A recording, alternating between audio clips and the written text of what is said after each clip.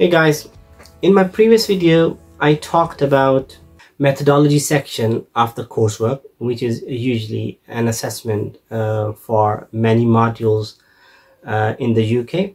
In this video I'll talk about objectives section of the report or, or, or an essay. Objectives are an extremely important but a very basic part of the report. It is important because without it, your coursework has no direction. It has no aim. Uh, it has no reason to be done.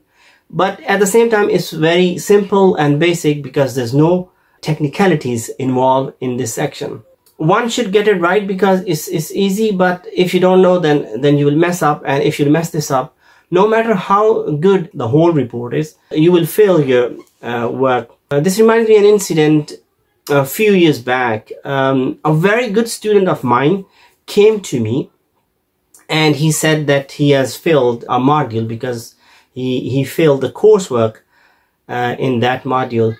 And that kind of surprised me because um, he was a very good student uh, and in my coursework he did get really good marks but uh, um, I was a bit surprised that he actually failed that uh, uh, coursework. So I so I asked what happened. And he said this was very simple and silly mistake but it happened. And from my point of view I should not have failed. Uh, so can you please check my report? The problem was that uh, he was supposed to write down the characteristics of a private limited company.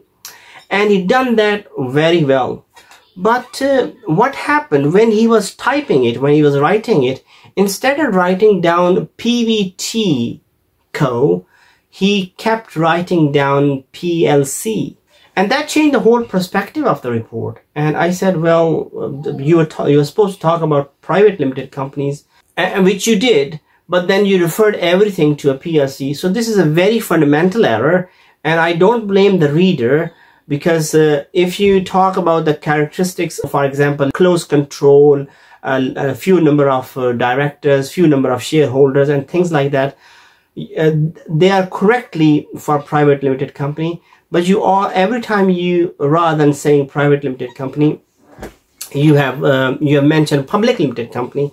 So that makes your whole report uh, incorrect. So I think you need to do it again and I'm, I, I felt sorry for him, but it was a very uh, simple, very basic, but a very silly mistake. And why is this story relevant uh, to objectives? Because objectives are the same thing. They're very simple, but if you mess them up, uh, you will fail your coursework. And last uh, semester when I was marking uh, some of the students' work, I noticed that rather than giving the objectives of the report, they were giving me objectives of the of their subject companies which they were an analyzing. A basic, simple mistake. And because objectives determine what is going to be in the report, if your objectives are uh, inappropriate, incorrect, then your report does not make any sense and uh, it does not carry any value because your report is is not what your objective says so what are the objectives of the report then? Objectives of the report should be closely aligned with the aim of the report and uh, usually uh, I recommend that uh, when students write down uh, coursework for my modules they should have aims and objectives section together. Giving an example from uh, my, one of my module uh, managing finance the coursework requires students to write down a report analyzing the performance of the business of the company uh, in the three areas which are profitability, liquidity, and efficiency.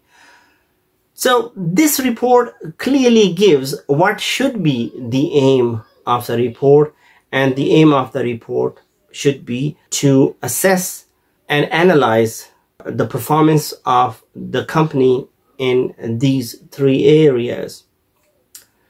This could be worded differently. You should set your aim revolving around these three things. It can be slightly different, but it should uh, should cover the basic basic idea which is being asked in the report.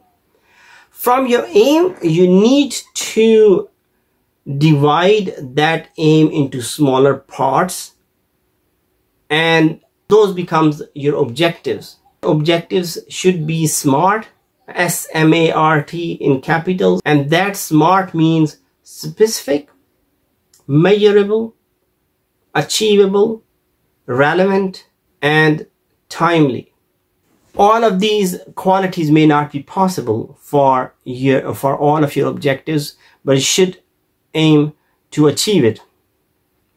So how would you uh, divide uh, your aim of analyzing and uh, assessing the performance of a company? Uh, you will break it down. How are you going to do that? So what you need to do, your objectives are the steps which you need to take and complete to uh, achieve your aim. So to do so, for example, the first objective would be to calculate the ratios of uh, the company because you're using ratio analysis either you can make it in one objective or you can break it down into three different objectives because you are looking at three different areas. So for example you can say that uh, objective uh, my objective of this report is to calculate the efficiency of this company by calculating efficiency ratios following efficiency ratios for example and then the next objective in this area would be to interpret the result and understand the performance by comparing the performance of the company with uh, with the previous years uh, and with the competitors and and industry data for example so these are your objectives. And this could be written in three bullet points. So yes, um, um, that's the key. I strongly believe that, that objectives should be in bullet points. That makes them more specific. And then the next uh, part of the report, which is the main body of the report, is basically um, doing the work to achieve those objectives you will find it very interesting and useful that objectives has a direct link with the conclusion. Many students do get confused that what do they write in, in the conclusion. What you can write in the co conclusion and what should be the part of the conclusion is to justify that how you achieved your objectives. So there's a direct link between the objectives of your work and the conclusion of your work. So I hope uh, objectives now make sense.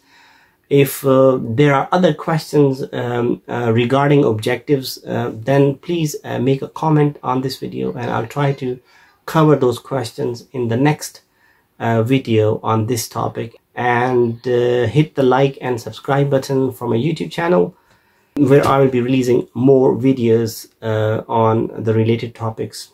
So thank you very much for watching this video. Cheers guys.